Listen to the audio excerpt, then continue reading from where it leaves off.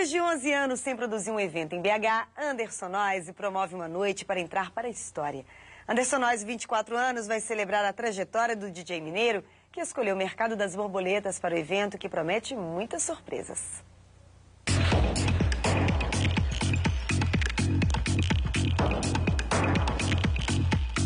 Voltar a fazer festa em BH para mim é, é, uma coisa que eu estava ensaiando já há muito tempo e assim muita gente mandando e-mail pedindo quando eu, eu, eu passo, passava em BH faz uma festa, faz uma festa.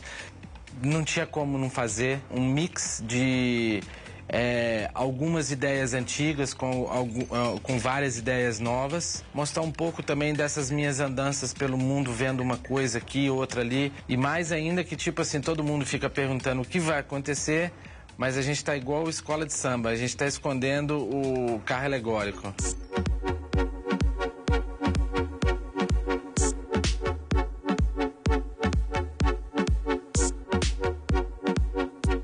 Quem vai tocar nessa edição, da, dessa edição de 24 anos, vai abrir a festa o Robinho e o Alvinho, Little Noise.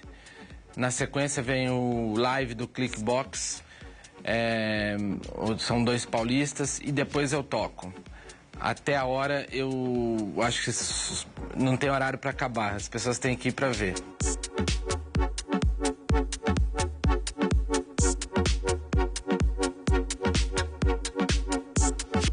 A história da mamãe vai ser, vai ser muito legal. É, inclusive, assim, já tinha também 11 anos que ela não ia nas festas, né? E eu acho que tá, tá todo mundo falando demais da, da de vê-la de novo na festa.